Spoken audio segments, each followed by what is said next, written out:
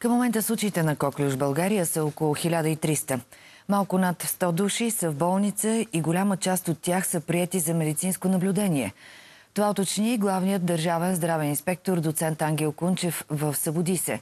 По думите му, мерките, които бяха взети за намаляване на възрастта на иммунизиране и иммунизиране на бременните жени, започват да дават резултат.